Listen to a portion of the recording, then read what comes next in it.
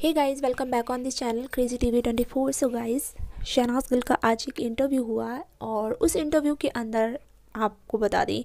बहुत ऑब्ज़र्व करेंगे तो आपको पता चलेगा कि शहनाज ने अपनी प्यारे अंदाज में किस तरीके से हेटर्स को अच्छा सा जवाब दिया है। जी हाँ तो दरअसल उनसे जब पूछा जाता है कि आप इतना पॉजिटिविटी बनाए कैसे रखती हैं तो शहनाज गिल का बहुत ही प्यारा जवाब था कि मैं पॉजिटिविटी इसलिए रखती हूँ क्योंकि कुछ लोग होते हैं पॉजिटिव कुछ होते हैं निगेटिव तो मैं इसलिए रखती हूँ क्योंकि जो निगेटिव लोग मुझे कुछ भी बोलते हैं, कुछ भी गलत सलत बोलते हैं तो मैं उन चीज़ों पर ध्यान नहीं देती हूँ। क्योंकि मैं ये सोच के इग्नोर कर देती हूँ, या कहती हूँ, चल ठीक है, चल इसी से इसका कुछ भला हो जाए, इसी से इसकी कुछ, इसको फ़ायदा मिल जाए मेरी बुराई करके या मेरे बारे में निगेटिविटी फैलाने से।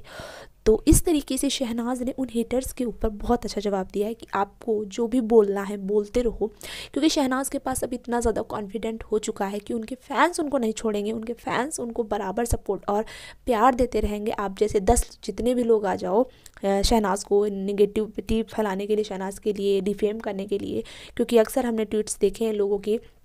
शहनाज के को कॉन्टेस्टेंट्स ही रहे, जो पी वी थर्टीन के अंदर थे। वो टाइम टू टाइम ऐसे ट्वीट्स करते, लेकिन शहनाज कभी भी रिप्लाई देना किसी को ज़रूरी नहीं समझती हैं, क्योंकि वो जान, जानती हैं कि आज वो कहाँ पे हैं और वो लोग कहाँ पे हैं जो उनके लिए निगेटिविटी फैलाते हैं। तो जिसके चलते शहनाज खुद उन्हें अपनी तरफ़ से रिप्लाई दे के या अपनी तरफ़ से कुछ गलत बोल के उनको और वो मतलब कहते हैं ना, एक भाव देना तो वो नहीं देना चाहती शहनाज। तो इस तरीके से उन्होंने बहुत अच्छा जवाब दिया। कि हेटर्स आपको जो बोलना है बोलो, क्योंकि शहनाज गिल का नाम अब बहुत काफ़ी, शायद आप शहनाज का नाम लेके ही पॉपुलैरिटी हासिल कर लो, क्योंकि ऐसे तो आपको कोई पसंद कर नहीं रहा तो शायद शहनाज की निगेटिविटी करके ही आपको शायद कुछ फ़ायदा मिल जाए। तो ये था शहनाज का बहुत ही प्यारा जवाब। तो जो अगर आई थिंक उनके हेटर्स सुनेंगे तो उन्हें भी काफ़ी मिर्ची लग सकती है इस चीज़ से। Thank you so much